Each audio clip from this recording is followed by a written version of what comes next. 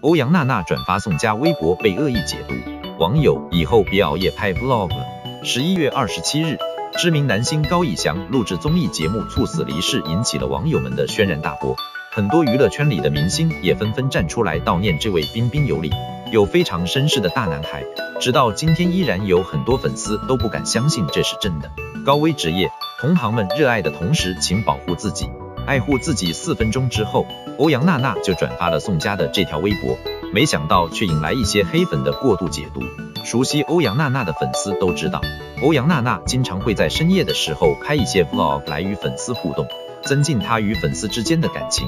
于是有黑粉拿欧阳娜娜深夜录 vlog 来说事了，他们冷嘲热讽地说，以后不要熬夜录 vlog 了。